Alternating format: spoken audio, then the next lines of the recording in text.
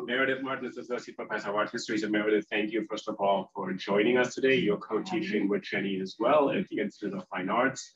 Um, a specialist in early modern French art and empire, she's the author of several important books, including Dairy Queens, The Politics of Pastoral Architecture from Catherine de Medici to Marie Antoinette, and the co-author with Gillian Weiss of The Sun King at Sea, Maritime Art and Galley Slavery in Louis XIV France, and Meltdown, Picturing the World's First Bubble Economy, which accompanies an exhi exhibition which is still open at the New York Public Library. Through Sunday. Another week. Through Sunday, another week. Yeah. I show at the New York Public Library, so you can go to Midtown and see that.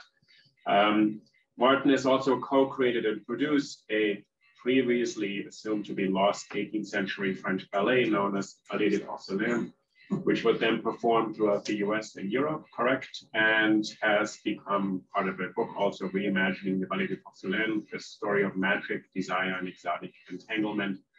And you are founding editor of Journal 18, or is it 18 or something? It's a cool journal Journal online. so yeah. Journal 18, so check it out. So Meredith teaches art history and Jenny teaches history, intellectual history, dance. And um, this conversation, I would love for us to start out for you to have this conversation. What I was really intrigued by is you have a moment in this book uh, where you say that when the curtain goes up on a Balanchine ballet, all of this meant that when the curtain went up on a Balanchine, Balanchine ballet, audience did not see a ballet. They witnessed a group of dancers making their way through a living, shifting labyrinth of split second choices, calculations, mistakes, regrets, adjustments, and consequences. It was alive and unpredictable, bound to music, but also free within. Free, especially from him. The power of their liberation, the dancer's liberation, and of him, Mr. B, watching them free themselves from him with the tools he had given them was part of the drama of his dances. Balanchine's ballets brought them all together in a synchronous musical world, a community governed by the strictures and freedoms of his art. How could real life ever compete? And I would like us to start by saying you wrote a book about the life of a man who's at the center of a world which stages something that is at once more than life and also so deeply part of life. Maybe you can start out by saying, and then you, know, you can come in and continue this conversation. This is a biography of somebody who's at the center of a community that does not exist for one single person. Everything is done in collaboration, in partnership. And what does that world then produce? These moments where something on stage seems to, if you ask yourself this question in this book, what could compete with this? And then the entire book is a result of this. This man's life is the real life. But what this man did was something that somehow stood in relation to real life in a really amazing way. Yeah, okay, good. Start with a really big question. I mean, It's a big book. the- it's a wonderful book. So, you know, I mean, that quote was to, is to me very much um, a kind of encapsulation of what they did because the, the, the idea of the realer than real world stage, which is what George Balanchine's company that he founded with Lincoln Kirstein, the New York City Ballet in 1948. This is this was their project together and his project before that was to build a group of dancers around themselves, to build an entire institution because a ballet is a strange thing. It can't be performed without people.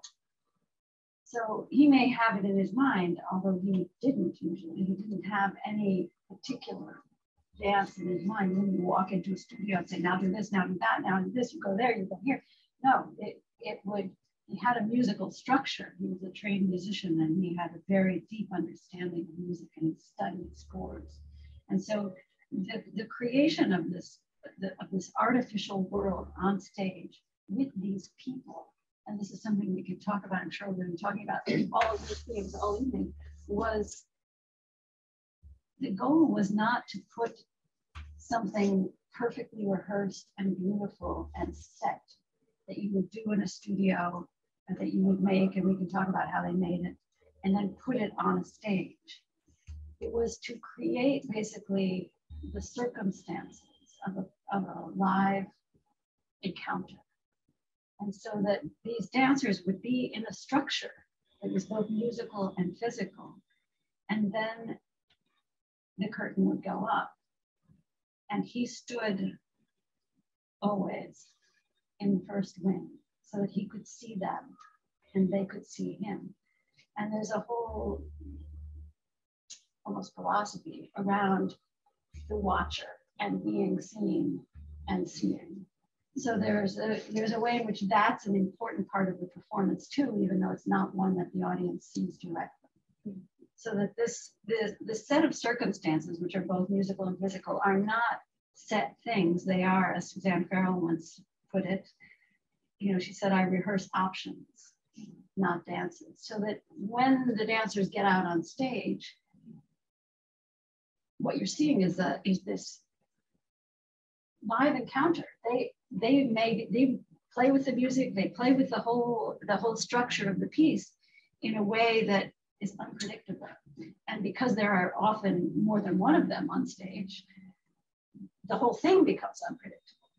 And he was very interested in this unpredictability and this sort of because it created something that was was live truly live and had an element of improvisation even within a pretty tight structure. So that there's really a sense, that, uh, you know, this is this is why it's realer than real.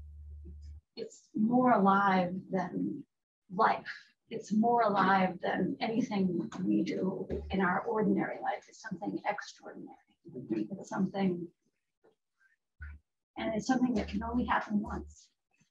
And then it's over. And you might see that ballet again the next night, but you'd be seeing something different. Mm-hmm. Which is why people cared a lot about casting, because some people, you know, even though people, oh, it doesn't matter the casting, the choreography is Balanchine.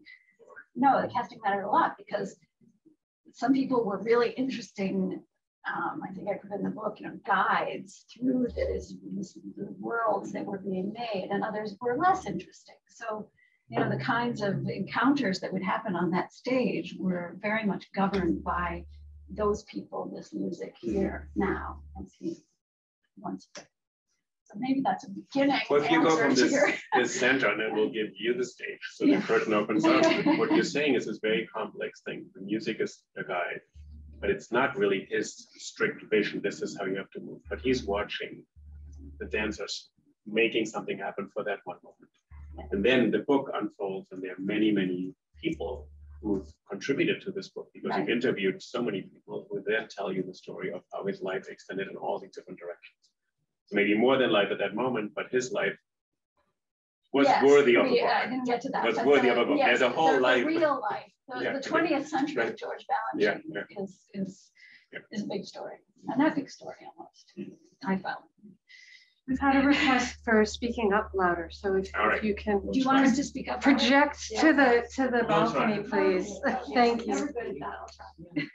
Well, that actually relates to a question I was going to ask you sort of at the end. The ballet master inscription on his gravestone, this kind of question to what extent you would consider him, you know, um, Jennifer and I are teaching a course together this semester, and I was rereading some of Apollo's Angels, and you mentioned, you quote a 16th century French theologian who describes the divine creator, God, as a kind of ballet master. And, you know, sort of wondering to what extent, um, you know, on the one hand, you have Balanchine as the, as the watcher, and maybe the dancers are kind of internalizing, even though it's different every time, you know, to what extent do you feel like they're bringing their own kind of agency? And is this also a story about their role in creating and generating some of these yeah no very and... much so. You know i mean that's something we've talked about some um, in, the context of this course we're teaching but it's it's the dancers it, this is sort of part of the last question right? The dancers had a very independent role in this even though they were also um, looking to him for instruction and for guidance and for the, the choreography, whatever that is. And, you know, I, one image comes to my mind. The dancer Allegra Kent, I was once told by, um, actually by Robert Wilson, the theater director, he said he was watching Balanchine choreograph one day and he was working with Allegra Kent, who was a great dancer. And Balanchine said to her, um, okay, try this. And he did a step of some movement. And she did something completely and utterly different. And he said, exactly. and so, you know, there was this way in which these dancers knew very well what they were doing and the kinds of freedoms they could take. They knew that if they did something interesting, that's what he was looking for. Mm. He was looking for for he something. Was open to it. He was totally, he was not only open to it, that was his that material. Was yeah. Hmm. I mean, he came in with a deep knowledge of the musical score. And as I said, he was doing, you know, transcriptions at home of music. So I think what he, and he didn't really share that with them very much. He just would walk into the room with some idea and work very closely with the pianist and with any of the musicians who were if Stravinsky was in the room, it was the two of them over at the piano, you know, what, is it this, is it that? Um, so the, the music was its kind of own subject. And then there were the dancers and how they responded to him and to the music and to the moment. And so then they would work almost intuitively. And I think there were some things that he knew, especially corps de ballet things that would be you know, patterns or motions that had to be coordinated, those maybe would be set in his mind, but sometimes on pieces of paper that, that would, were diagrams of the way things would go. But, um, but as far as the choreography for soloists and principals, no, this was happening in real time. And they would, I mean, even in something like Violin Concerto, which is one of his great dances towards the end of his life, he, um, he made the dance in the beginning on um, and then she got sick. And she was out for a week. And when they came back, she said, I don't remember a thing. and he said, Oh, it's okay, we'll start over. and so they started over and they did it again. So, you know, he had this facility. It wasn't about this step to this music, it was about this person moving in these ways that became a kind of almost like a, the dancers almost had their own score. I mean, I was interested in the fact that they had always their, not always, but mostly they would describe, the dancers weren't musically trained usually, and they would have their own counts different from the musical counts. And at first I thought, you know, why? Why didn't you tell them what the real counts were? why not just share that with them? And then I started to think, well, really, actually, it makes sense because they had their own counts, which was their score, which was related to the musical score, but different. This was their score, which was kind of like interwoven with this musical score, but it wasn't really dancing to music it was dancing, like he put it, the dancers are in this fish tank of the music and they're swimming in it. And so they're, they're they have their own mechanism, their own timing, their own ways of making their way through the music that isn't always directly correlated with the music itself. It's coordinated, but not correlated. So I think the dancers had a big role. And he, you know, in a way, that's why I called the book Mr. B, because it, it was sort of, you don't even see this man without seeing the dancers and without, in my case, talking to the dancers and getting a, a sort of chorus of testimonies about what it was like to be in his presence and to be working with him both, as you know, for good and ill, right? Yeah, that actually is, is the volume better? Is there, are we, do we need to go louder or can people hear us? Okay. I, I think we're okay. Just every now and then look at me and I'll just kind of remind you I'm and trying, and yeah. we'll be good.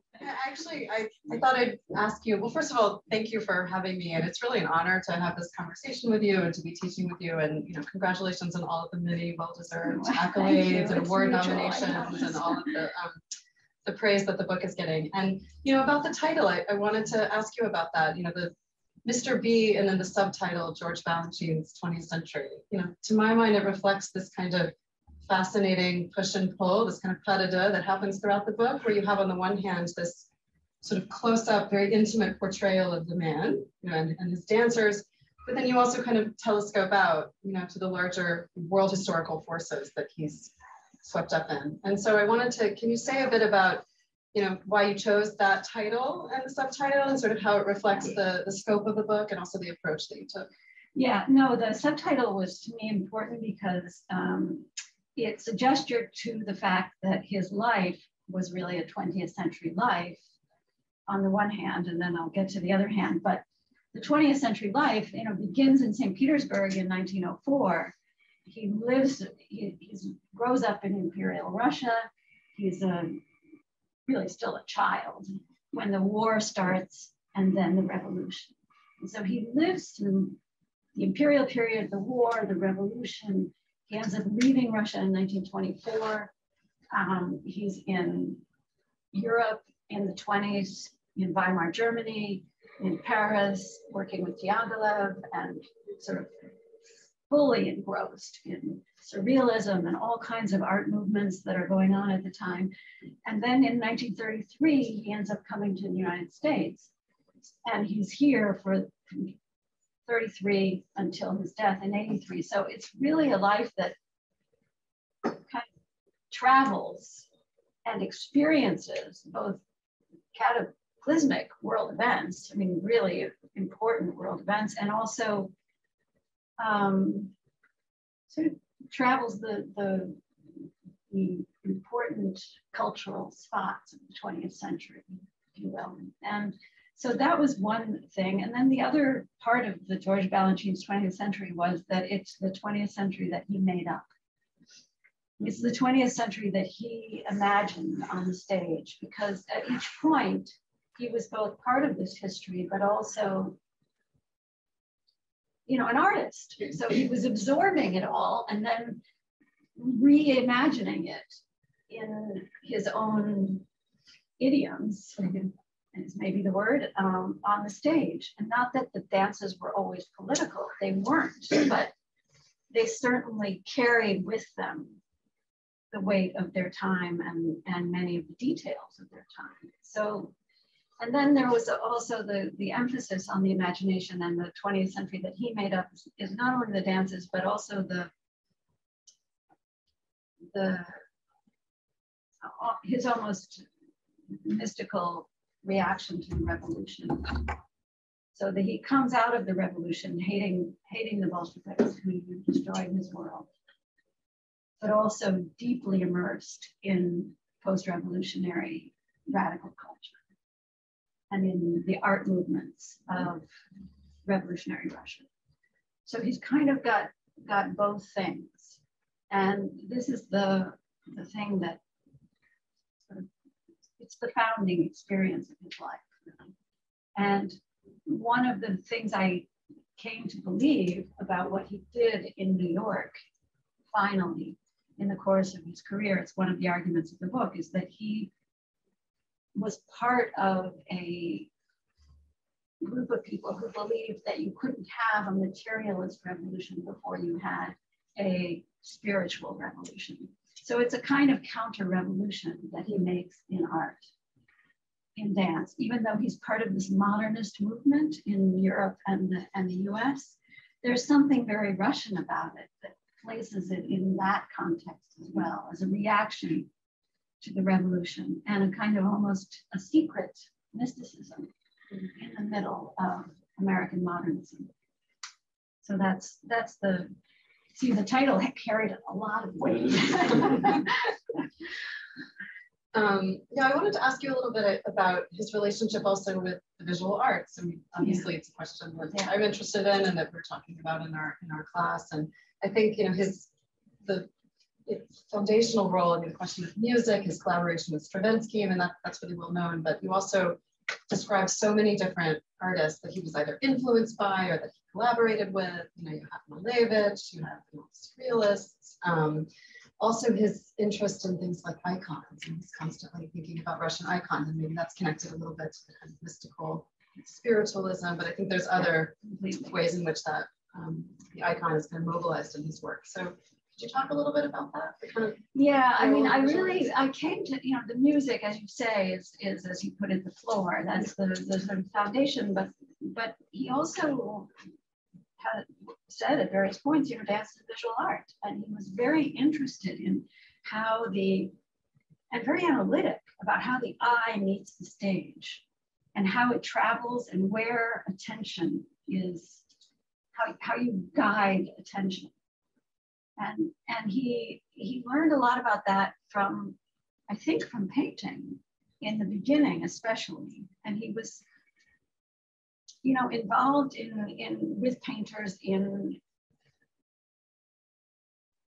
many of the movements in, in early revolutionary Russia, but also especially with Diaghilev and with, you know, when he got to Paris and and uh, met Picasso, Matisse, and Derain, and, and these became the people in Picabia, and these were the people that he was working with, Chirico, they, they were all there, and they were just his friends and his people he was with, and he, you know, he owned um, Magritte, he owned Beckmann, he, he wanted to work with, with George Grosz, he, he, he had, he, he did the first Seven Deadly Sins with, with Brecht and Weill and with, with a whole elaborate visual apparatus. Um, so he, he was very interested in, in the visual. And he learned from this about this from film as well. Um, he worked in Hollywood. He did uh, quite a lot of film. He worked with some great um, cameramen, including Gregg Toland, who um, some of you may know. And he so and he he talked about this, you know, about how do you uh, he learned how do you position where do you where are you going to position the eye? You have a quote in Apollo's Angels, probably also Mr. Piedmont. Yeah. You say people come to the ballet but they don't really see. You have to show them. Yeah, that's right. and then some ways what you're saying, yeah.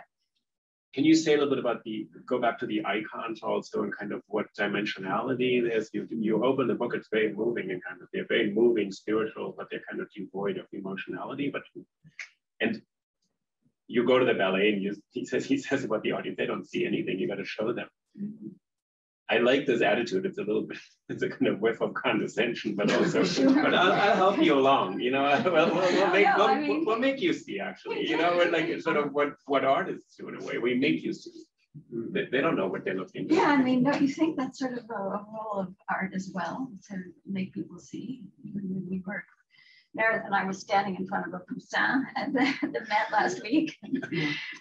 Unvarnished, unframed, the natural light. Yeah, I mean, yeah, absolutely. Um, yeah, and I think. Um, I mean, the icons, right? Yeah, yeah. I mean, I think there's also something about the icon, the sort of iconic. I mean, in a way, it seems somewhat paradoxical because you think about this constantly thinking of the body in motion, but but the role of the icon also has to do, I think, in some ways with the way that it it kind of pushes outward. Yeah, yeah. This was really striking to me. I mean, the idea of the icon as a as as a flat surface and one that that has a, a kind of reverse perspective, um, which which means that you're not seeing into the painting, but the painting is designed to actually reach out to you as a spiritual, spiritually engaged showing person. kind of immersing. It's not just visual; it's sort of functioning on another. It's functioning level. on another It's against level. that kind of illusionism of the kind of classical.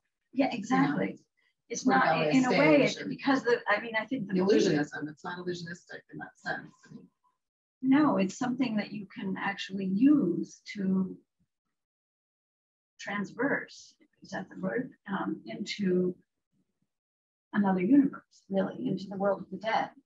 You can you can enter this and be have access to an otherworldly space, which is the part of him that was. I mean, he was raised in the Russian Orthodox Church, so he had that as a as a base, but he was also uh, I I came to see by following his reading patterns and and some and Lincoln Kirstein, who called him an amateur theologian, and he he really read very very widely in religious literature. He was quite interested um, in uh, Sufism and in um, science fiction. in uh, you know, one of the great moments in the research was when he, one of the dancers had told me that she had asked him, um, "How do you do this?" And he said, "Oh, Donovan's brain, dear. Donovan's brain."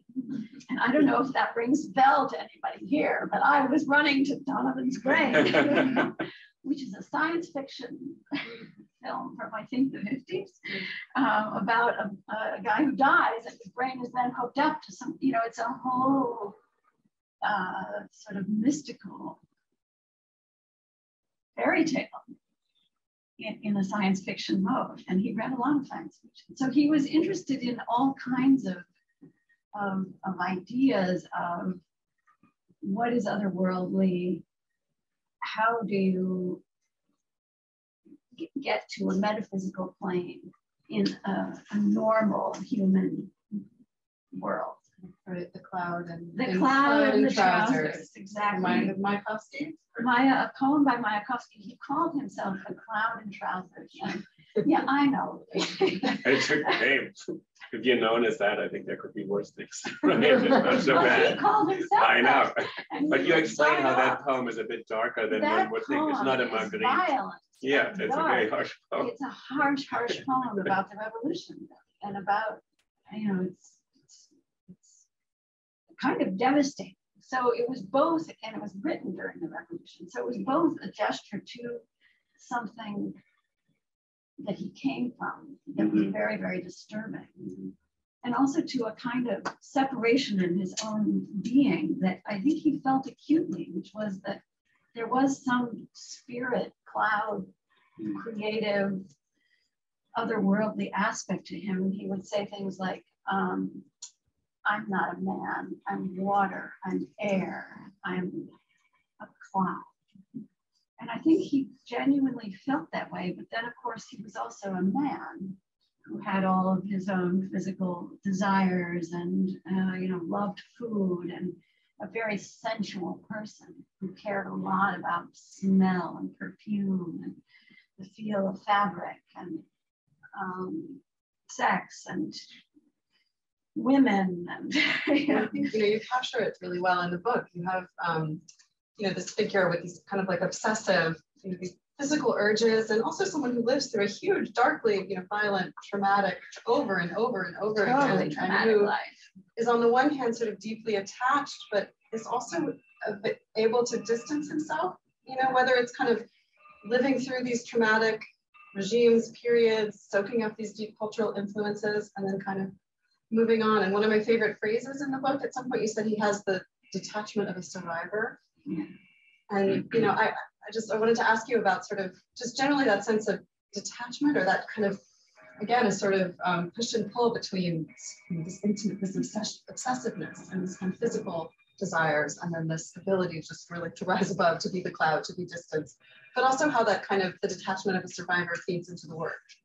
Where yeah, you no, the that? detachment of the survivor, you're so right. I mean, because it's very much an exile life. And so it's a, it's in fact, a lonely life. I mean, he was a deeply lonely man, even though he surrounded himself with people and dancers and built a whole company around himself so that there would be a world around him. Um, but he had, as you say, he almost died several times. He had revolution, he had TB, he was in a Magic Mountain Sanatorium. Um, he had these kind of unexplained, wild physical collapses at various moments in his life, even though he was also very strong he lived in deeply physical existence, you know, working with dancers and performing and traveling and all of these things. So he he was he was both um, both great endurance, but also this mechanism that Meredith you're pointing to, I think, is that he he could go through a really difficult experience and loss, and feel it intensely, intense love affairs that were devastating. Just put him on his knees at the end of them. Zorina, who didn't love him the way he loved her. His fifth wife, wife Tanaquil Le Clercq, who got polio at the peak of her career and was crippled. And she was not, she was both his, his greatest muse in those years and also his wife. And so there was a way, you know, this was a tragedy for him. And he took care of her, but then he also, you know, he could pull back. He could art art was the thing. Uh, he was going to make, he was driven to make dances. And I think he felt that his main purpose on earth was to make dances.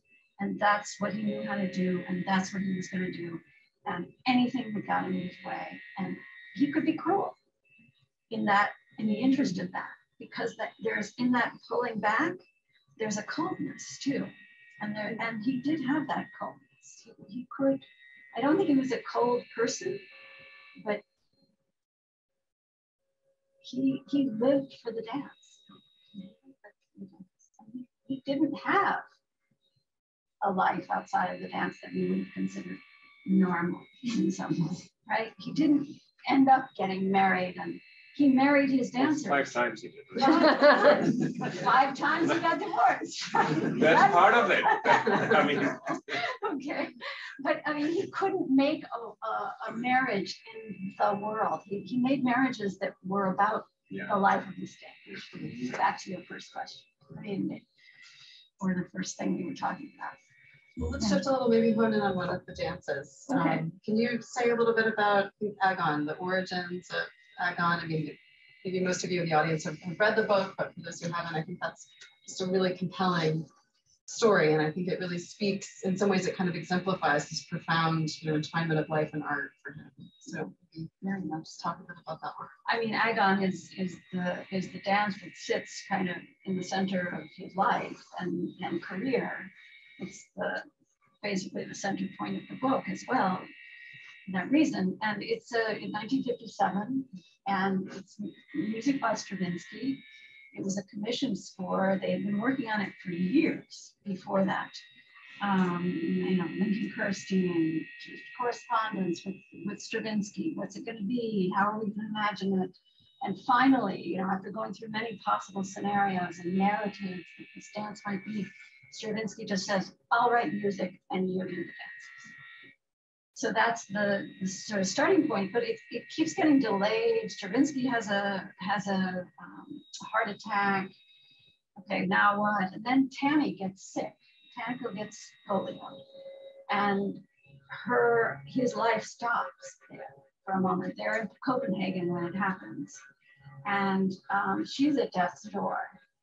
They don't know if she's going to survive and he moves into the hotel and stays in Copenhagen for nearly a year, taking care of her and trying to help her. He's determined that he's going to make her well, by which, of course, he means that he will make her move her limbs at least as a human being, if not as a dancer.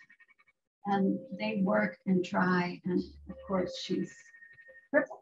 That's it and it's not going to happen. And um, finally, they end up going back to New York once she's well enough to leave. And they settle into New York, and he's off to California to see Stravinsky and to get this ballet. And out of this intense crisis, in which the company is kind of floundering back in New York, they're trying to do it on their own. They've lost him. They don't know what's going to happen. Is the whole thing going to fold? What's going to?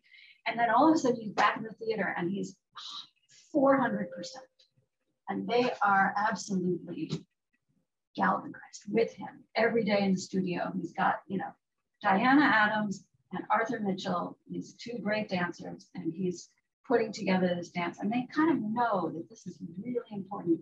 And it turns out it's not the first, but it's it's probably the most important of his so-called abstract ballets in the sense that it strips the stage of scenery, there's the costumes are leotards and tights, so they're practice clothes, which, which are, as Ann Hollander always would say to me, those are costumes. all, all dresses, all costumes, dresses, everything. costumes, man. And she's right. So, you know, there's that, then there, there's just light mm-hmm. and a blue cyclone backdrop. And dances that with Stravinsky's music, and they have worked together closely. Stravinsky's been in the studio with him on these dances and the the dances that come out are i mean it's it's it's 26 minutes 28 minutes i think i can't remember and it's it's just i mean it was an immediate masterpiece kind of you know it's not a word you want to use very very much but this is what it was. And it, the audiences were absolutely floored. And in this dance, there's this pas de deux. I mean, this is partly what you, you know, you can see the, without, this was one of the challenges of the book, was not to reduce the art to the life, Mhm. but to also find the connections to the life, because after all, it is happening in the life. And here was one moment where, and I got this from the dancers, they could see that there were movements in this deux that came out of ways in which they thought he had worked with his wife, helping her limbs lift. And there are moments when the man lifts the woman's legs and actually manipulates them and moves her around so that she's not, and he would say, don't do anything. Let him do it. So, you know, she is a kind of almost like a mannequin doll. It's an amazing gesture, not of her weakness or something, but it is actually even there empowering her to something just beyond her.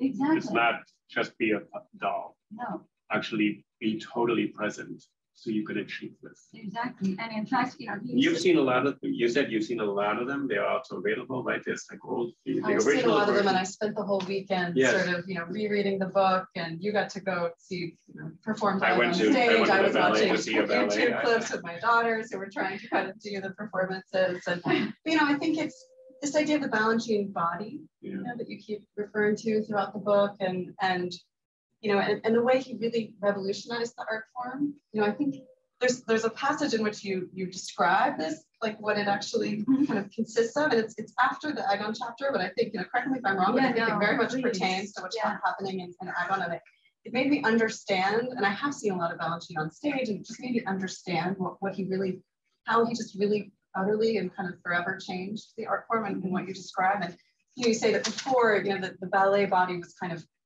parceled out, you know, symmetrical, kind of considered to be divided along a sort of north-south axis and an east-west axis. I mean, think of the Vitruvian man, you know, and, and he he broke that all down, you know, and partly, as you say, it's because he had experienced, he'd lived through the idea of a body broken down, broken in pieces as a result of war, as a result of disease, his own personal biography, but also these larger events that he was a part of. And then and he had to kind of build it, build it back up. And I hope I'm just going to quote a couple of sentences just to please. what you say. And then, so the Balanchine body, and this is me quoting Jenny, is it could be grotesque and tangled or out of joint, or it could be beautifully patterned and harmonized across multiple bodily and spatial planes. But whatever the style of musical form, and here was the catch, his whole body had no clear axis, no tonal center. Its foundation stone, worse, its default was chaos. Stability and perfection were death and had to be fought with sheer energy and the will to life, sent coursing through the body in dynamic opposites that might just might hold, thanks in large measure to music and immense physical energy. His dancers didn't stop, they didn't pose, they just kept moving. To dance in that body was to know that you were on the edge and it might all give way. Holding it together was a complicated physics of energy and time, but also of anxiety. No dancer was alike, just as no human was alike, and he changed his dances all the time, as he said, tailored them to each individual. I just think that that completely, it's a beautiful piece of writing, but, Great, yeah, it's great. but it also just kind of really made me understand something about about Balanchine's contribution. Can you say a little bit more what you think the difference is from previous, like, Well, I mean, we just- have the expert here, but it's good to see how we No, understand yeah. her work. Well, I mean, I, I'm interested in this, you know, there's a lot of talk about how Balanchine kind of looked back to like court ballet, like the era of Louis XIV, and looked at Beauchamp-Feuillet notation and, and sort of reinvented that art form. And I think in some sense, you, you can see that in Agon, right? I mean, he's looking at the choreography, the patterning on the floor, but there's also really a fundamental break that you articulate, articulate. And it's not about the kind of ultimate sense of symmetry and harmony. He may have been about a kind of Neoplatonic plane, a sort of transcendence, but it's not the transcendence that's sought by classical ballet of the 17th century or any other period. It's a kind of acknowledgement of, in a way, the sort of futility, I don't know, of the transcendence, or or that you know you kind of never quite get there, that you're you're held in this impossible suspension, and that's part of the power of the work, but also, you know, Yeah, no, I agree. There is something um, dark as well. In that. And as you say, it comes from it comes from the the broken body and the chaos of the broken body and the fact that you can't really return to that past body, that imperial body. You can't because it's it's too it's too balanced. It's too organized. It takes an army to keep that body organized, right? A really big imperial army that's doing parades. All you know, you can see the iterations of this throughout imperial culture. And and the, the body he comes up with is one that's just um, yeah, almost impossible to live. And so that's why you have to have this live performance because you've got a body that is, I mean, it's hard to explain, but I mean, I'm gonna just, because there's like, uh, the, it, what I learned when I was a dancer and trained in his system was that you can't just like put all the pieces together and balance. Oh God, got it. you know, you can't. You have to be reaching this way and that way and that way and that way and that way and this way. And, and you've got to have all of the dynamics in a moment, in a moment, a second of stability that you pass through. Because if you try to hold it, you're going to go, you're going to mm-hmm. fall. So it's, it, and he was all about falling, you know, don't, don't bore me. Don't just stand there. Do something. If they fell, he was because they were pushing past. And there was a way in which it was also a body that, I mean, the grotesque part was that it could be extreme and almost violent. And I try to bring this out in the in the aspects of the training because the extremity of the turnout, the extremity of the, of the you know the legs up to here, extending up to here, and the the the, the hip joints, the knee joints, the the back, the, the flexibility, the, the, the tremendous um, labor that went into all of this. And also the, the, I mean, there is something violent about. You are actually, I mean, this is, this is metamorphosis. This is like the body being changed into something else. And so they were, they were all involved in making that change because he could suggest it but they had to do it. So, and often they did more than he suggested, so that there was a way in which um, you know the extremes were created again in this collaboration between them.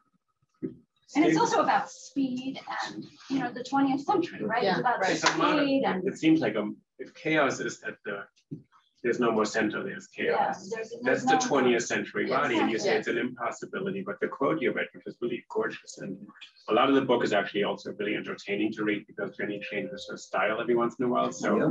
she explains something, and then she says, "In the company, not so." And I go, what? Or it's like this would have happened. It didn't. Yeah. And then she gives a recipe or something. It's really, it's, it's really, it's actually, it changes direction Yeah. which in a productive way, it actually Yeah. keeps you on your toes. And as a reader, you think, oh, this is happening now. I didn't expect that direction. Yeah. But the quote you read there is a kind of is a kind of defiance of mortality when it comes out of this. And it's not about just survival. He's an he's a, an immigrant, doesn't know his own secrets at some point. He comes. But it seems to me that beauty is also resisted in a way. And I, I brought this to the lighthouse I was just reading Virginia Woolf a couple of weeks ago. She has a moment in which in, into the lighthouse, this is 1927, she says, beauty, this is it. Mrs. Ramsay stilled life. She had it there. And two pages later, beauty arrests life. And stillness is not life. It kills it. So Virginia Woolf undoes her own insight and says, beauty is that. She said, no, beauty is not life. Actually, beauty is a frozen image. It needs to be. So can you say a little bit from this quote? These are bodies moving through time. They'll never again be in this position. Never again. And I think this kind of defiance or this kind of resistance to mortality and to time, which in some ways in the in the book you say, by cutting time into shorter pieces, he gave us more time. He, he actually lets you see this is when they have that, they're holding this for a moment, very precious, very precarious. There's more time suddenly. Because we have no time. So really comes of the experience of Tanny. So this kind of defiance or this kind of um, da- dancing in a way without an assurance that this will work. Um, but this means being alive and in some ways connected to what the dancers experienced. Because they all seemed so, I mean, you said this over and over, they all seemed so alive. And they look back at this and say, this was, this was the greatest thing in my life. Yeah, because they were more alive than they ever were in other parts of their life. I mean, that and, and these dances, because of the relationship to the music, which is, after all, a relationship with time. Because what is music but a way of organizing time? So that's what dance was too. He, he even, I mean, this was one of the thrilling moments for me in, in the research is when I found these choreographic notes that he had scrawled on bits of paper and they were in his hand and he talks about um, time and breaking it down. And he talks about Spinoza and duration and time and what's the difference. And, and you know, I think he really saw that's what he was doing. That's what dance was. As you said, it was a way of ordering time, which is a way of ordering the universe. So back to the Neoplatonic thing, but differently. but differently, exactly. And it can't be ordered that old way. That that is what he called ballet ballet. That's the old ballet. He was really committed to being, and it was what he called it, progressive. And we can't slow down. We can't do that old stuff anymore. He didn't want to do Diaghilev again. He didn't want to do Sleeping Beauty. He did Swan Lake a little bit because, well, you know, he was also very practical about those kinds of things.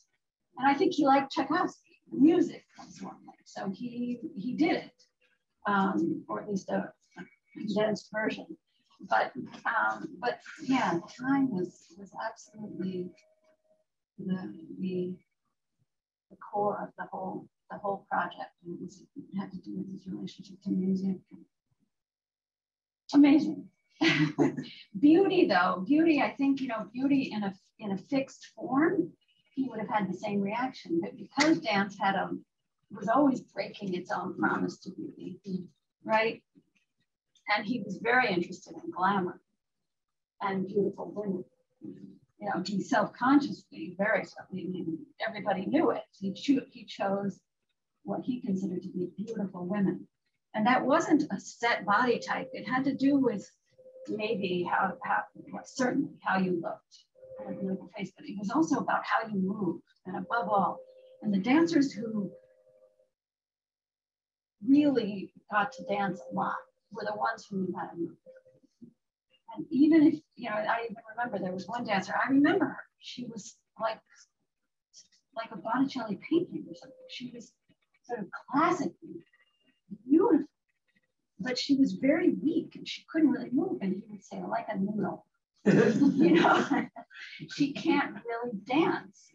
So, you know, Travel hard to understand. yeah, exactly. You know, she couldn't. So it wasn't. Oh, we need a perfect body. That and, kind of. And say something about the role of women because yeah, okay. They're so present in the book, and you give them so much well, What did you think about well, I actually thought a lot about it, like everybody who reads the book, and I thought, what is this relationship, which is such a supercharged relationship of someone who enables very, very young people who are entering life and have a bit of a gift, but also have somehow the discipline to go through this incredibly difficult training and turn to him to become themselves in a way maybe that we wouldn't quite understand what this means. But for them, they seem to have, they found themselves on stage for moments and that translated into their lives in a way. But I would be curious, I thought it was um, a very exceptional kind of dissection of what is a relationship to a mentor who is at the center of an institution that was constantly about to collapse and fragile and politics and all this, but somehow created a an artistic home for people and that is a very rare thing. They shared a mission. They couldn't have done it without the other. So Mr. B couldn't have done it without any of the dancers. I think that seems to, that comes through in the book. That there wasn't one day where he thought, well, I could be, I could do this without them. He, in some ways, he wouldn't be who he was without the dancers. So this kind of codependency, but it opens up this space of power and all this kind of, but I, I read it as a kind of, they're pursuing something they neither would quite know what to call it. Art, beauty, being moved, being transported, all wrapped in love and desire and the erotics of this relationship. But I just couldn't, I didn't really think you took a position. You just said, this is what happened here. It's a rare thing. It may never happen again. Yeah, no, that is how it felt for me. And I don't know how you felt about Yeah, how did you feel about it? I'm curious.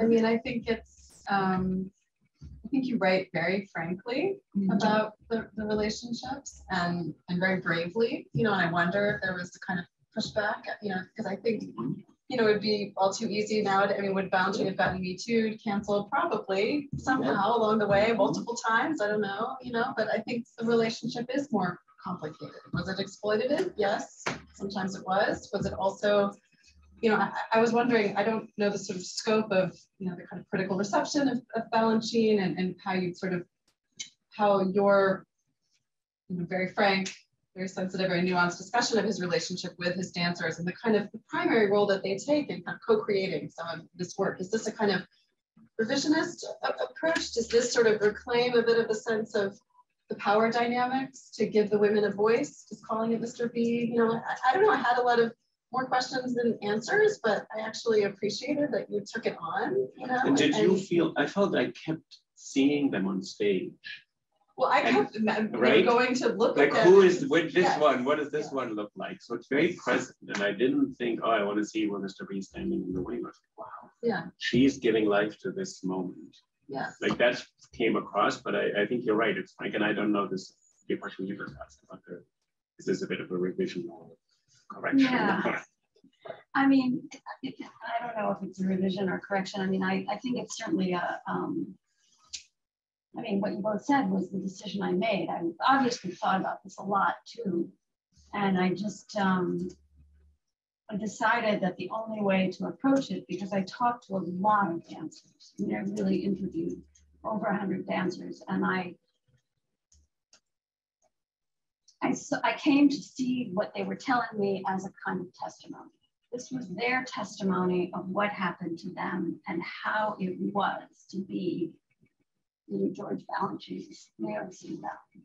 And so what I decided to do was to lay it all out without bringing the moral judgments of our time to his time or even of his time to his time, but just to say this is what it was. And then that that's enough. That's that's the story. And so if people want to say more, that's that's fine. But I mean, I felt I was true to the material. I tried to be very clear about the about his sexuality, about their involvement in his sexuality, all of these things, and about the power dynamics mm-hmm. and the complex relationship, as you said, that that went into making this art, in which he loved some of them, they loved him. Yes, he was in power over them, they were also in power over him because he was vulnerable to them and didn't exist without them and they couldn't dance without him. So it's a very complicated thing. And then the erotics of um, the erotics of art it's not a new subject right? And it it was definitely present here both in the dances themselves which were very erotic in that dance of, of Agon that we were talking about. Diana Adams, who was the lead woman. And again, there was the same remove that you were talking about earlier. She was almost cold in this dance. It's not like she went out there and, and, and was very sexy or something. Not at all. She, she just did the movements. And even um, at one point, finally, they switched casts and she watched it or she saw it from the front and she said, oh my God, I was doing that, you know, because the legs are split wide, you know, he's leaning over. There's a whole, there's a, there's a lot of, um, there's a, and, and he's a black man and she's a white woman. This is 1957, soon after Little Rock or before, I can't remember. And it, um, you know, it's, it's, a, it, it's a, it, yeah, the whole thing is I, it's very complicated and extremely powerful. it's powerful. And also they, for them, it was powerful. I wonder whether the ones he got married to. Yeah. And then there's a whole bunch of other people, and then there's a whole bunch of male dancers, and there's colleagues and all this. And I wonder whether this word love we apply in one category.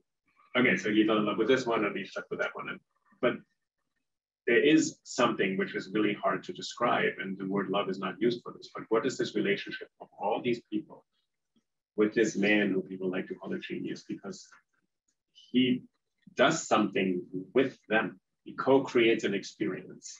And people love their teachers in a in a totally non-sexual thematic way, like in a complicated way. Yeah. People love people who run institutions. Like there's lots of love that we don't define as Valentine's Day today. So we we code it red and we got it or we don't. You know, it's like that kind of. But what is this other? What are these other dimensions he had? And maybe the spiritual is one part that he was creating a bit. You said at one point, was this a cult? They all believed in it. Yeah, for a moment I thought, oh my God, I was part of the cult. Yeah. Well, we're glad to have you here.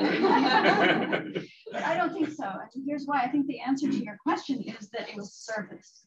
Okay. He he created a sense of they were not serving him, although of course that too is complicated because they all sought his approval intensely and they cared intensely about every move he made. They were watching to, to read the tea leaves of what he thought. But what he managed to create in this institution was a feeling of service to art.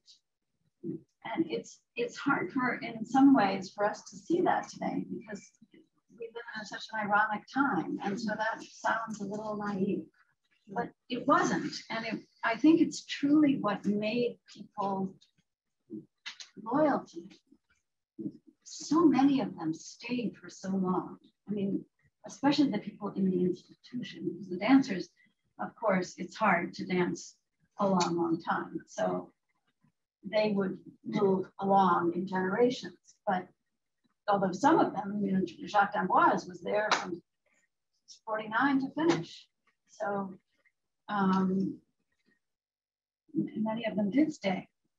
But the, this this sense, and I got it from you know the stage hands and the orchestra people and the lighting people and the everybody who was making some part of this world happen. You know, turning on the lights, making sure every that people had the right shoes, making sure that the costumes were. There was there were literally hundreds of people involved in this enterprise, and they were devoted to him because he wasn't. He was devoted to them and the art that they were all putting on stage and you know whatever the other problems and there were definitely cruelties and and things that happened that were difficult for people and some people left. But i think almost that's the chorus i heard and that i saw when i was there myself that there was something selfless about the whole enterprise and really, even for the dancers, it wasn't about them going on stage and being stars. The whole point was that they were that the idea was find your way through the work that we do and through the intensity of the technical requirements and musical requirements, where your own ego and self disappears and you are just present. So there really was an, a, a, kind, an almost T.S. Eliot kind of philosophy to this performative of life and also um, aesthetic. So the, the distancing and the the flatness of the of the performance and the bodies, but it was also the face. It wasn't smiling. It wasn't, you know, short sometimes, of course, but the idea was it's not about you acting out there. You would say things like, don't think, just dance. And people take that and say, oh, you're trying to dumb down the dancers. But I don't think that's what it was. I think what he meant was your words are in your way.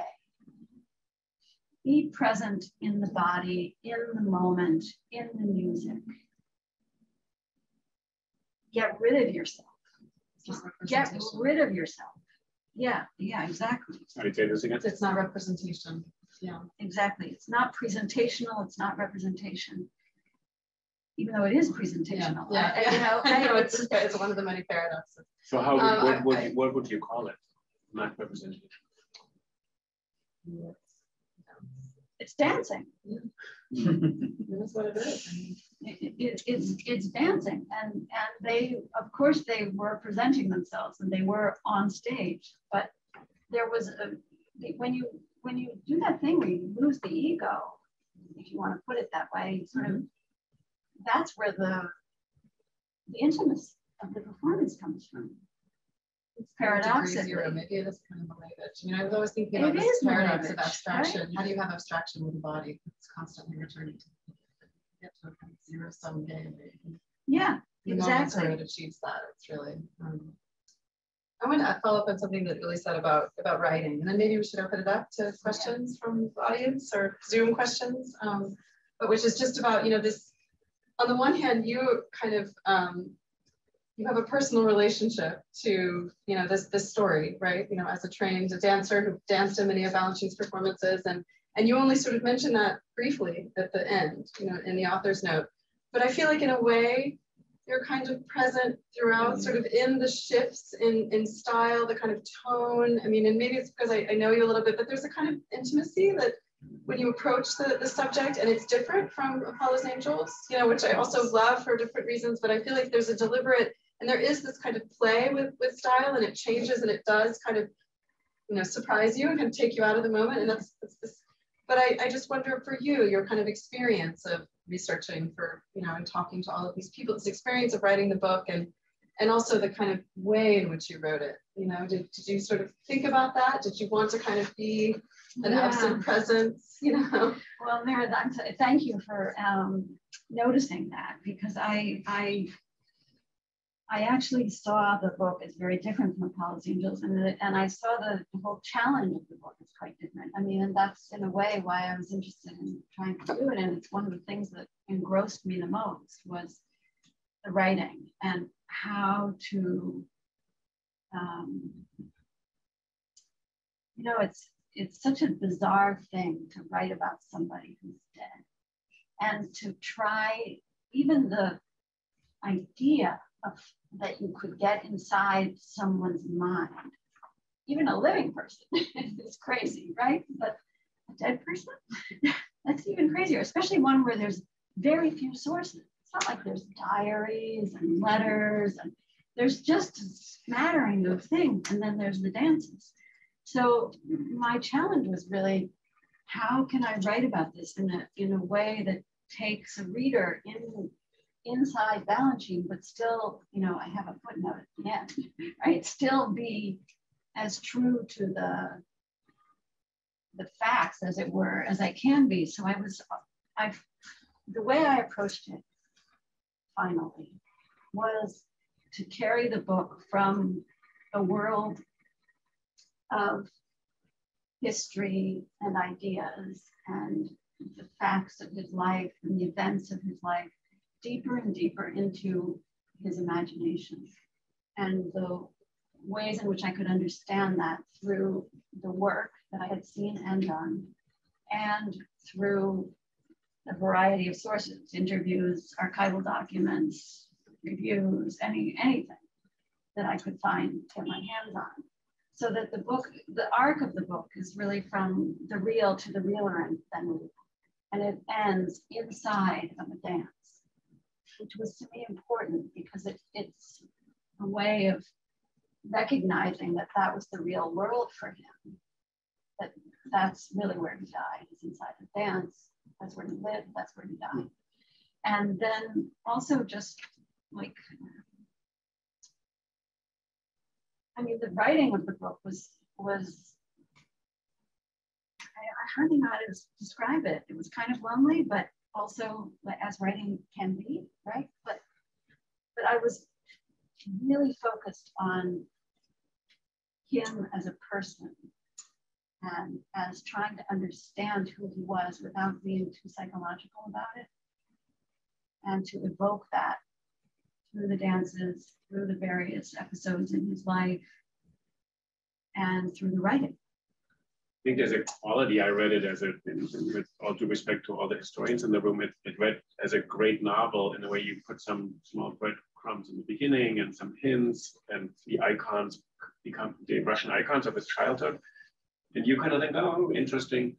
But you kind of know they're going to become more interesting and they become more interesting and get gain more depth. And there's another insight about them. And there's occasional moments when he, wherever he arrives in Berlin or in Paris, something, and you you see have a scene and you're not quite sure. You think, no. But then it comes back and you say, and if you're not saying, oh, now it's on stage. You're saying something here has been, you read this thing and you gave it a, a bit of an interpretation of what could this be a bit larger context. And then you give the scene later on. And then as a, as a reader, you're making these connections. They're almost like a leitmotif or a metaphor that goes through a little bit. And then it's mm-hmm. really because it doesn't say this is here and now there's a causal connection or there's correlation or there's analogy. It's just, we don't quite know what the connection is because it is in his mind, which is also not a very strictly analytic, rational mind. It's a mind filled with a spiritual with stuff and it's a spiritual mind. He's a spiritual person which is an amazing thing. He's a spiritual person working with bodies. And he's interested in abstraction working with bodies. And he's interested with a two-dimensional scene which was and loving these people he loves these women on stage and lets the world see them being themselves it's actually an amazing moment when someone what would love be but to let the other person be seen for themselves that's a great moment in love doesn't last but But in some ways, what you said, abstraction is there, spiritual, but the human body is at the center. And I think it kind of pulls him back. But the writing is also, um, I kind of know a little bit of your routine. I felt like you're going to the studio every morning, 6 a.m. writing, and it, and it kind of, it doesn't show. No. It's like per amazing performance. You think, oh, Jenny just sat down and wrote this book. like and I took you a bit longer, I think. Yeah. So the training you don't see, that training that gets people onto the stage at Lincoln Center you don't really see that. You know, it's, it's no, thank you. I'm yeah, glad if it works. Oh yeah, I'm totally works. It totally, it totally right. works, right? It's a transporting read, kind of in a way. You're kind of in this, and you feel you. That's what my original question is. You inhabit this world, but it's not our world. No. It's nobody's world. No. And they're in it for a moment. And he actually, to me, is like he he comes, he lives the 20th century, and then he disappears and you're not answering that question. What happens to the Balanchine ballets and what have they? This this is this this happened. That's an amazing thing. What happens next will will be next. There will be something else, but it will not be. This is not a book to say, oh, here's the blueprint. Start your theater like that. No. There's no model in here. I think there's no. No, he was a he he was a genius, and he was also a deeply humble person, and and he just lived his life and made his dances and then, as he said, it was my time to go. And so I, you know, when it's my time, I will. Yeah. Like a cloud of trust. Like a cloud of so I wonder if someone from the audience would like to join, and if we do, we will amplify your voice somehow. Uh, yes. I'd love to. I mean, it's a wonderful book, and congratulations. And and by the way, I, like probably many other people here, I went to City Ballet a few weeks ago, and went to the Euro Balanchine program, and I had different feelings about everything having just read your book. So mm. your book has a real, a real role to play, a real impact. Clearly, things will be different whenever we think about George Balanchine. But I'll, I'll change the subject completely. Aside from speed was interesting to me. What did America do with this quickness of America? It also feels very urban. I'm very aware because I've been working on a Connecticut project that they go to Hartford and he goes, oh my God, I can't live here. and, you know, I want to get me to New York. And I mean, it lasts three days. We took Boston on three days and he's back in New York. So he needs the city, he needs the urban. I mean, completely different. Anyway, I loved it. Uh, Jerome Robbins. So then we've got, and we've been talking about the women, no question. This city ballet is about the glory of women. We put it simply and whatever. Uh, and and then there's Robbins, who on by all accounts, I did I never met him personally. I don't know this, but you probably did meet him. Apparently was an impossible man people. He made dancers crazy and he made his friends crazy. He made everybody crazy. but he was completely obsessed. But but he absolutely bowed to George Balanchine. And, and even reading your book, I kept thinking, how did this happen? How did this man who always ran the show everywhere and made people crazy with his dictatorial qualities, how is it that, how do you understand? I just want you to elaborate a little more. How did he, how could he kind of fold himself into the city ballet story? Robbins, you mean? How did Robbins, yes, yes. He was Mr. Broadway. How did he manage to say, no, but I'm number two, man. I'm number two. I'm, I'm number two to Mr. I How know. did that happen? How did Well, he do it? Because, I mean, not easily. I guess is one answer. I mean, Uh-huh. they, I mean, how to explain this in a short, in a short moment, but I mean, Jerome Robbins was a great choreographer in his own right, and he was extremely different from Balanchine. I mean, even his earlier work, he, he called it uh, ballet in dungarees. Mhm. He was going to be the American vernacular. He was going to take ballet out of the court and into the streets, and you know, West Side Story, Yep. and all of this, and and Balanchine invites him in 1949, the, the, a year after the company is founded. You, you know, will you come? It, and and or he calls. I can't remember which one it mm-hmm. was, but immediately there's acceptance because I think Balanchine recognized right away this guy is really good, and he's good for us. He's good for our company. He's good for my project of establishing a company in New York. It's not, he's going to help. He's going to be a good voice. So, yeah, as you say, they were polar opposites in some ways. Balanchine was in, in the studio, civil, calm, uh, in control. Dances came out reasonably easily, no matter how much he had worked you know, sometimes years before on the score. So it's not that there was no work and they just poured out. It's that the work had been done elsewhere, and then the work with the dancers was quite amenable, and, and he was very easy with them. Robbins' agonies, you know, the, the black days, as they would call them, the, the, the abuse, the feelings of degradation, and, and yet, and yet, he too pulled things out of them.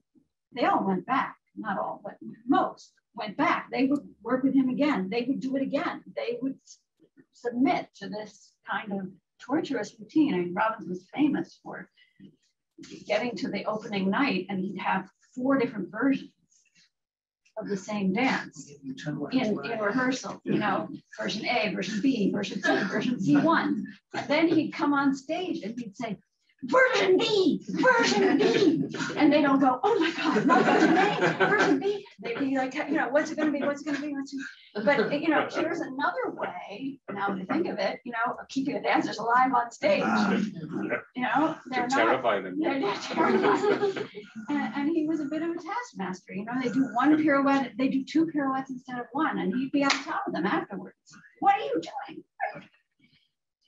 So, you know, there, there was a way in which they were just like completely, you know, Russian Orthodox Jewish, Russian, Russian emigre, New York family. Um,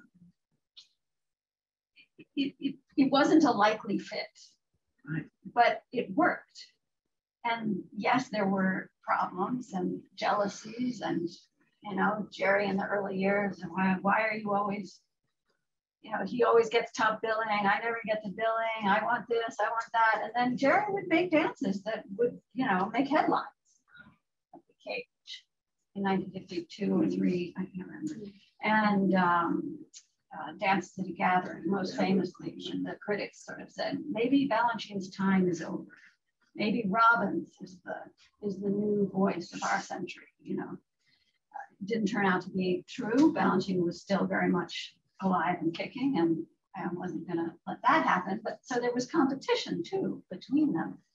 So I think there was, but if you read the Jerry, I mean, God bless him, Jerry has a huge archive and wrote a lot and was a great writer. So, you know, we have his diaries, we have his letters, we have, and that's another thing, you know, they competed over Tanaquil Le Clercq. Tanaquil was in love with both of them. And they were both in love with her. So even though Jerry was mostly gay. Mhm. So there was a whole complicated relationship between them. But when you come to Stravinsky Festival in 1972, and Balanchine has got them all there working every day, all day, and you listen to Jerry talk to the press or read his diaries, he is just in awe.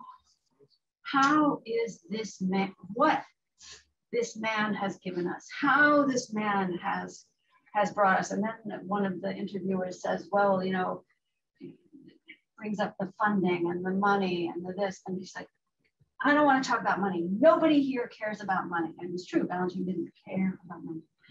It's not about money, it's about art. We are here to make art.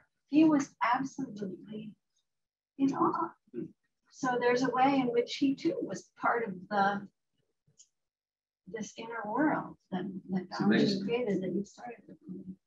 Yeah, so it is an amazing story. It's a little like Matisse saying, oh yeah, Pablo, I'll, I'll be second banana to you. Huh? But he does. But- but he does. You don't seem to relate to the attitudes. Hmm? You don't seem to find that natural. I think it's, fan- I think it's, fan- I, I, I do. None of us do. None of us it- find that natural. I think it's wonderful. I'm just amazed by it. Yeah, and Balanchine was no, it was no prince. I mean, you know, he would sometimes he'd say, oh, Jerry Ferry, you know, Jerry Ferry. Yes, right. That's. Homosexual. That's right, even, even homophobic, Yeah, he that's was right. homophobic about it, and he, I mean, it was his way of expressing his jealousy, his intense jealousy. That Jerry would get these audiences that would be like, you know, it'd be like a rock concert. Jerry would be there, and they'd be there. And he'd have the whole, that whole world in his hands, and then came Balanchine. So But what you said earlier, a genius with humility, that is a rare gift. that is a rare. gift. Yeah, or who doesn't fall prey to the need for self-promotion and money and all that, that He whole business. really, really, you really, need to- and that was part of their devotion to him. He didn't care Yeah. about money. His agents were all really upset. How do you expect us to make money for you when you tell them that you'll do it for free? He wasn't paid until 1962 or 1964, when the Ford Foundation insisted that he be paid on the, you know, the terms of the grant. So it's, it, that, that's a true, truly, when I try to teach this to students, they can't understand that part. He didn't want to be famous and he didn't want to be, in fact, fame was a little bit of a problem because, and the institutionalization, when the company moved to Lincoln Center and they built the New York State Theater and all of a sudden, and they got the Ford Foundation money and all of a sudden they are the establishment. And Balanchine was sort of like, maybe I should go to Europe and start another company. Hmm. Because it's possibly, you know, he was very suspicious of bourgeois culture, Hmm. very suspicious of what money could do to you. It's going to cut your creative edge. It's going to, you're going to become comfortable. Hmm. You might, that was everything he was against. You know, the dancers, he was going to let them be comfortable. I think maybe this question will kind of like continue from that point. I enjoyed the book so much, and I feel like it's going to continue enriching my experiences of seeing his ballets and also just sort of participating in dance as a dancer and dance maker and uh, audience member. I was really drawn to the descriptions of his class and the relationship and the tension that happened sort of within the company about balancing his own ballet class and who wouldn't go and who would, and kind of what he would do. And it seems like like there was a tension between kind of what he is telling people to do and versus dancers feeling like they know for themselves what they need to do his work well. And I sort of wondered about that. The question is sort of, is that tension a part of what makes something so spectacular? Is it spectacular in spite of that, of, of dancers having to go around or, or sort of navigate that? Um, where, yeah, that's my question. So, I mean, I think the class, you- it, it depends on when you're talking about, because the class, I mean, the class is so important. Because it's where he's gonna reinvent this technique. He's gonna do it on stage, but he's gonna do it especially in class, because that's where he's got the dancers close up for hours. And they can meet even on a, you know, on a day off, which they often did, and spend two or three hours in the studio. Sometimes there was no pianist in Balanchine, or he would just count. or nothing. Three, four, two, you know, just like stop time in the dance. And so those early years when he was really using class as a creative tool, um, there was a, a kind of loyal core of people that participated and went. Others weren't willing to give up their day off or weren't just weren't as, as interested or devoted or for whatever reason. There was a sort of core group that was doing this and a lot of it was happening around Tanny in the beginning. Um, and then later, when things are a little more established and we're in the 60s, 70s, you get this tension that you're talking about where his class, he's still teaching because he believes in teaching. And, you know, there are these moments, just one, I can't remember. He, he wants people in class. He wants the company to come to class because he's going to train them. But his classes are brutal. And they're often, you know, like, uh, I don't know how to explain this in non-technical terms, but, you know, he could give 64 tendus, front side back, faster, 64 again faster. And then, you know, the jump, everything, you know, more, more, more. And the dancers would be, this is like, you, you'd be on the floor, you know, it's really hard stuff. Really, almost, it's impossible, actually. A lot of what you would do would be impossible. And then they'd have a full day of rehearsal and be on stage. So there were dancers who would say, can't do it, just can't. And so I'm going to go to, you know, Stanley Williams, who knows what Balanchine kind of wants, but much gentler. It's going to be gentler. I'm going to get taken care of. I'm going to get warmed up. I'm going to be correctly placed. My body is not going to hurt. I'm going to be able to face the day and the performance. But Balanchine didn't like that. So did, did the performances then become spectacular sort of in the course of all these tensions? I mean, that's hard to answer, right? I mean, maybe for someone like Eddie Villella, the answer is yes, because you could see him, you know, there's films of him in the wings. I mean, he's a real, wow, he's a drama king. he, he is, he is suffering too. He's deeply suffering in his body, but he's giving 500% on stage. And we talk about being more alive than alive he was, and then he would just, you know, it's like almost like a cliche, right? He would then collapse in the wings like a boxer. Or something. Um, so these, but these tensions were were sort of part of the fabric of the company. The dancers would start class in the morning and with Balanchine, and he'd say, "It's a company of 80 something, and there's 40 people here. The others must be at church." Their church. Their church, exactly. We have one more comment right behind. Yeah. I first I want to congratulate you. The book was absolutely brilliant. The observation about some of the movements and agon coming out of Balanchine's work with Tanaquil Le Clercq. It's not the first time I've read this. Um, I've read it elsewhere before. And I'm there's a part of me that's still puzzled by it because you can see some of the same dynamics between a ballerina and her partner in earlier Balanchine work, such as Four Temperaments, in particular, the opening three themes. So I, you know, to put, I mean, I, I know you tempered what you said today by saying, well, some of them thought this that it may have come out of this, but other people just write as if it's a given and they ignore the earlier works. You can see it in Haieff Divertimento, you know, and other others. I'm not going to name all of them. But I just want to know what your response to my observation is. Yeah, I think you're, you're right. I mean, it's tricky territory for sure. Um, and that's why I'm careful to say, you know, it, it, to me, it's important that the dancers think that because that's part of what they're going into it with. I mean, it was Melissa Hayden at first, and she's in the dance in a different section um, in the original. And so there's a, and, and Arthur Mitchell himself said this to me. So there are other, there, there's a way in which the fact that the dancers thought it makes it in some key true.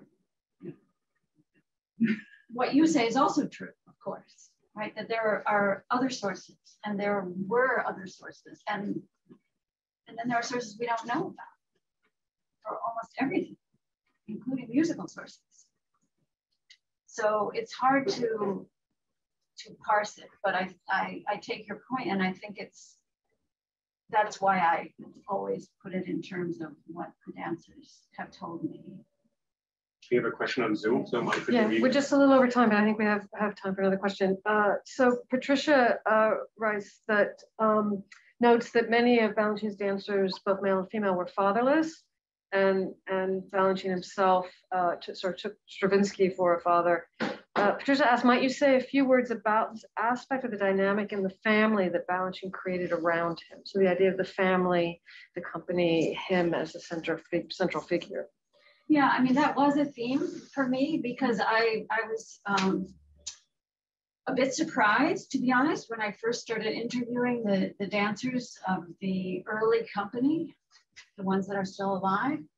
And I started to notice that every time, you know, I almost started to expect it that there would be a missing father or there would be a broken family or there would be a, a sort of sense of, of some kind of, well, mainly a missing father and also a lot more Jewish families than I had anticipated. So there, and there was a kind of feeling that a lot of these families were not feeling a fact that a lot of these families, the, the dancers were the children of people who had also lived through some of the calamities of the early 20th century and had ended up in New York from East Central Europe.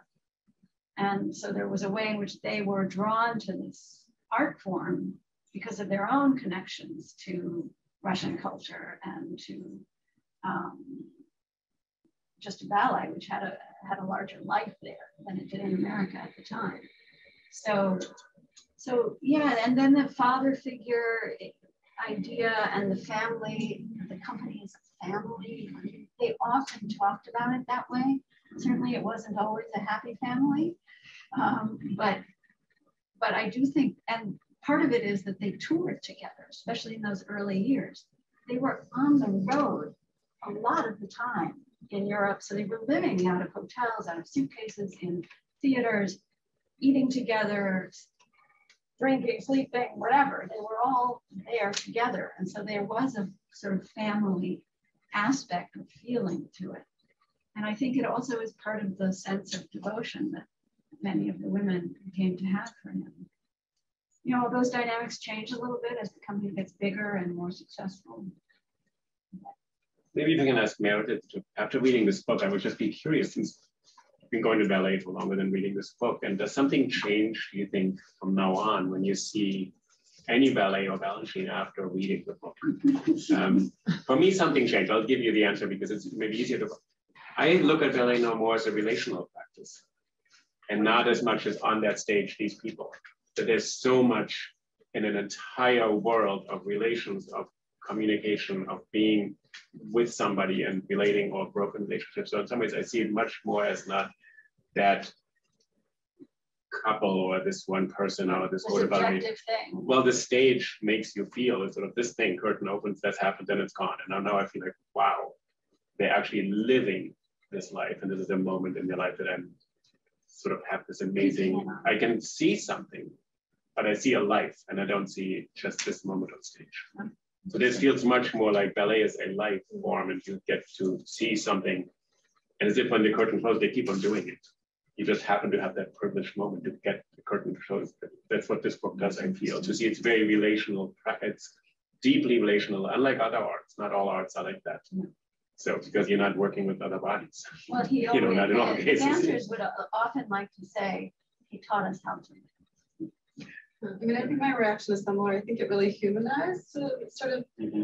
ballet and also Balanchine for me. I mean, I came to appreciate Balanchine first through a good friend of mine, Scott Rothkopf, who came to appreciate Balanchine through Anne Bass, who was a great patron of the arts and a huge supporter of New York City Ballet. And they both, you know, so I would go and, and watch with them. And I think, you know, for Scott, it was this, this kind of sheer perfection you see on stage. And there is something that's just so unforgettably just kind of perfect about a Balanchine production, but I think also what you really bring out are the kind the imperfections and that it turns, you know, it revolves around those those two poles and the kind of, I don't know, it, there's a layer of, of humanity, you know, kind of intimacy, but also human that that cool icy surface, I think is a little bit cracked Mhm. and that makes it more interesting for me to watch, you know, and to, see- to now to see it, and it's forever changed after reading your book and and enriched in that in that way. And I think that ultimately, you know, there there is a, there is a kind of veneer in some way of this kind of there are references to what the earlier traditions of ballet really aspired to. The fact that it doesn't quite get there, it holds this liminal state. It's that state of metamorphosis, you know, that is mm-hmm. held it. I don't know, that's that for me makes it even more kind of seductive and appealing and, and also makes me want to go, you know, I also understand the real value of it's never the same. I mean, ballet is always different. We all know that, but it it makes me want to go again and again and again to see the same productions. And I think that's something that mentally relates to And myself. Jenny, how are you now? After Yeah. having written this book, it's not that you're going to run to the next book, but uh, you also being in such a strict discipline for a long time. There's a weird moment when the curtain came up. Here's the book. Now you're on book tour, but you does your body miss that routine? Um, well, I don't know. I will, I will tell you that I, um, I finished the book, I turned it in, and I had physical crisis. My body basically fell apart. And I don't know exactly, I'm fine. I'm fine, but I wasn't fine. I was just kind of, I kind of collapsed. It was a kind of collapse and nervous exhaustion. Something was not right. I was, and I don't know whether it was the, the loss of the discipline or the cost of the discipline, or maybe both. But it took me, as you know, over a year to sort of recover myself out of, out of that, that moment. it wasn't that I do? couldn't work or anything like that. I was really fully functional and all of that, but Yeah. I was not well in my body. So there was something, and I think it partly has to do, as my physical therapist you're going to sit for 10 years, what do you expect? but you're better now, I'm better now. and you I'm found a way to. I have found a way to, to manage this, yes. It's But actually is, it's- but it is, and your body is showing the symptoms of writing a book, which is Writing- what you're writing about. Writing takes, you know, I always thought dancing was the problem as far as physical stuff goes, you know. But actually dancing, I think, was the, was the least. of it. But that's a- Sitting is, It's a very beautiful way to end. Maybe Yeah. you're saying ballet is also it's an art of ideas, and then you say writing is actually a practice of the body. that's right, you show- that's right, it is. That's actually very. So stand up yeah. a lot. But we're, yes, but we're so happy that you've joined us tonight and Meredith for joining us and actually having this conversation with Jenny. So I just want to remind our future viewers, this is Valentine's Day 2023. Mm-hmm. And as we try to talk about, this happened once. So for me, it's the great pleasure and joy of my job that I get to read such a book, immerse myself to the extent I can in something which is transformative. So it has changed my way of seeing things, and it's really wonderful to have Meredith Martin and Jennifer Homans here at the Center for the Humanities to talk about Mr. B, George Balanchine's 20th century, and everybody, happy Valentine's. Go out and